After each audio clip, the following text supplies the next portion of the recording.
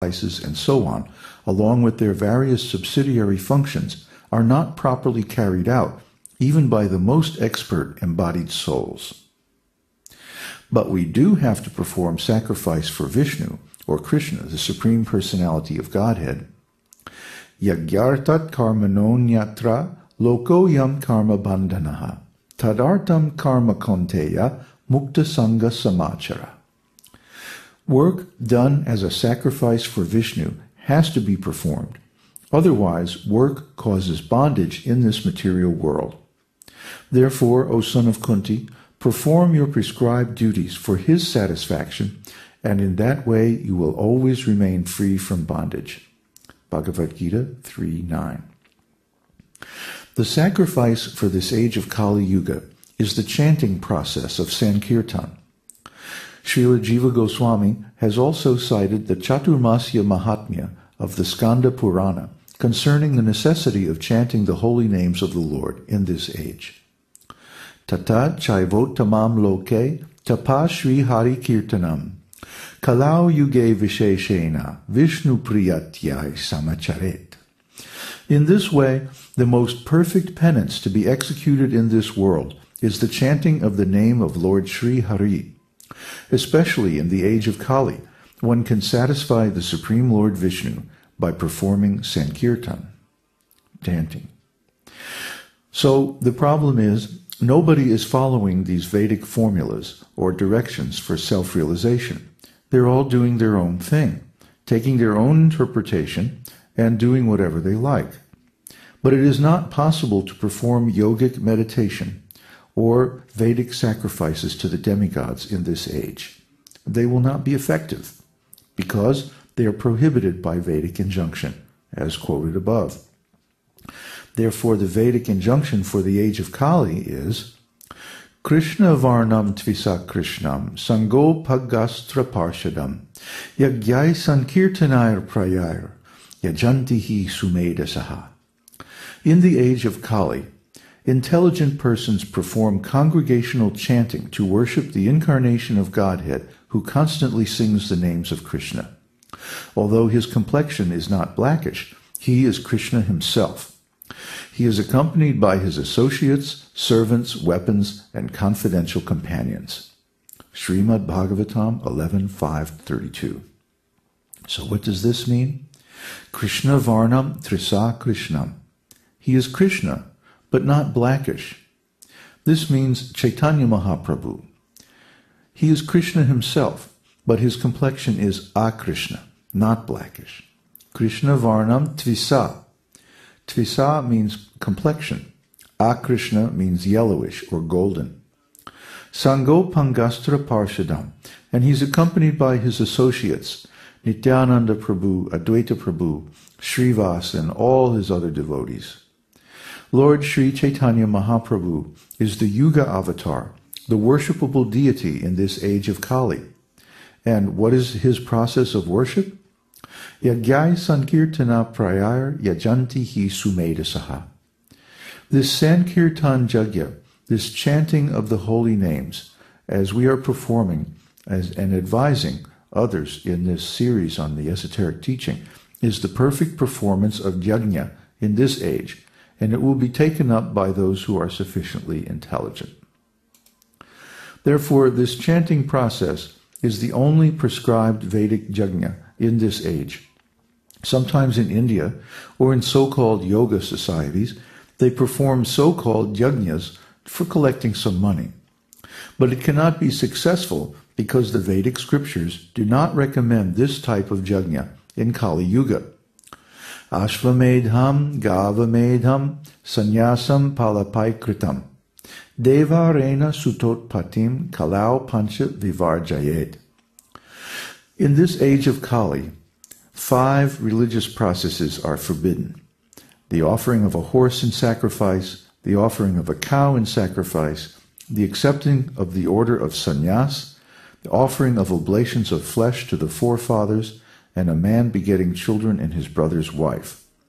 Brahma Vaivarta Purana, Krishna Janmakanda 185 180. So there is no Yajna in this age. The only yajna is to chant the mantra of the holy name and dance in ecstasy. This is the only bona fide Vedic yajna, or sacrifice, in Kali Yuga. In this Kali Yuga, people are so much disturbed. Therefore, Krishna has come in the form of his name, Vasudev, or Hare Krishna. And because Krishna is absolute, there is no difference between his name and himself. Abhinatvam nama naminaho. The holy name of the Lord and the Lord himself are always identical. Nama Chintamani Krishna Chaitanya Rasa Vigraha Purna Shuddho Nitya Mukta. His holy name is full. As Krishna is full and complete, similarly Krishna's name is also full and complete. Shuddha, it is not material. Purna Shuddha Nitya, full, complete, and eternal. As Krishna is eternal, his name is also eternal. Purna Shuddha Nitya Mukta. There is no material conception in chanting the holy name of the Lord, and it gives eternal liberation. So in this age of Kali Yuga, we cannot be happy materially. Rajam Shuranam Api Chari Patyam. As Arjuna says, even if we get the kingdom of the demigods, Asapatya, without any rival, still we cannot be happy so long as we have got the material conception of life, the material ontology, the material consciousness. It's not possible. This is explained in this verse. But chanting of the holy name of the Lord, as exemplified by the teachings of Lord Chaitanya, is the cure for all material miseries. So someone may say, all right, well, I can accept that Krishna's name has a similar quality to Krishna himself. How is it that chanting this name gives uh, freedom from the material miseries? The material miseries are going to be there whether we chant or not. Well, that's a fact, the material miseries are always there, uh, especially when we're in material consciousness. But when we chant the name of Krishna, first of all, we are making a commitment to the transcendental ontology. We're changing our consciousness. How do we change our consciousness? Well, the mind is full of impressions called samskaras. When our impressions are only of the material given to us by the material senses, then our impressions capture us in the material ontology. We're stuck in the material consciousness. And in that ontological uh, world, there's no way out. Huh? We're stuck in the material world life after life. This gives rise to an intense feeling of alienation because we're not material beings, we're spiritual beings. And our real happiness is also spiritual. So when we chant the name of Krishna, we're putting ourselves on the spiritual platform, the spiritual ontology, and we're calling out to Krishna.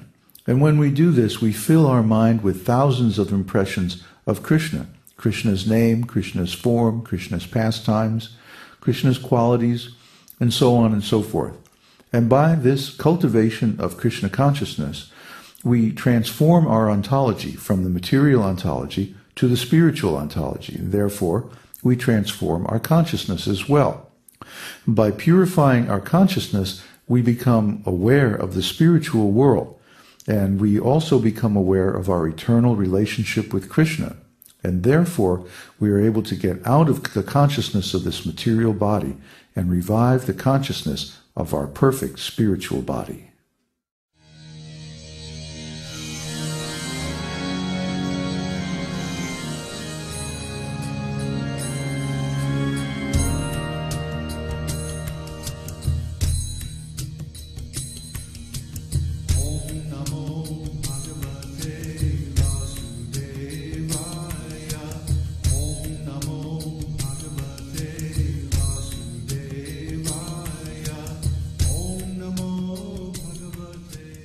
We hope you've enjoyed this edition of My Perfect Body.